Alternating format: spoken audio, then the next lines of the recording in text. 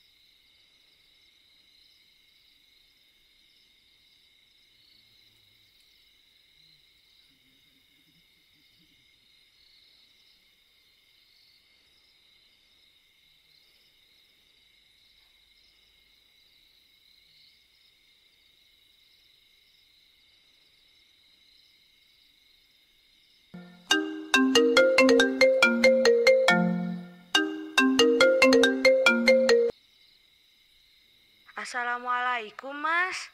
Waalaikumsalam, Bu. Iya, ada apa? Ini ibu habis pilihin kamu baju koko. Suka nggak? Nyari baju warna putih yang cocok sama kamu itu susah loh, Mas. Bu, kan tadi sore Dimas udah bilang sama Ibu kalau tahun ini Dimas gak bisa lebaran di kampung, Bu. Lagian juga nanti siapa yang pakai kokonya, Bu?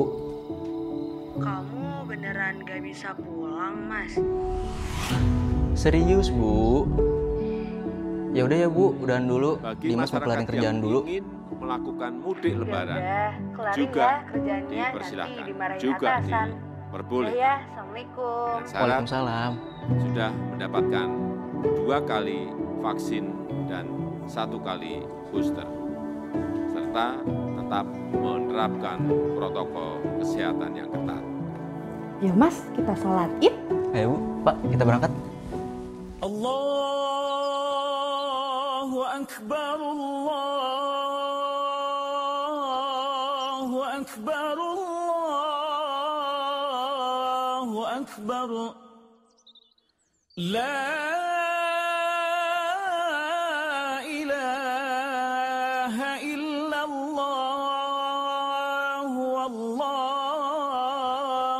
أكبر.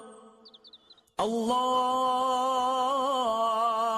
أكبر. ولله الحمد. الله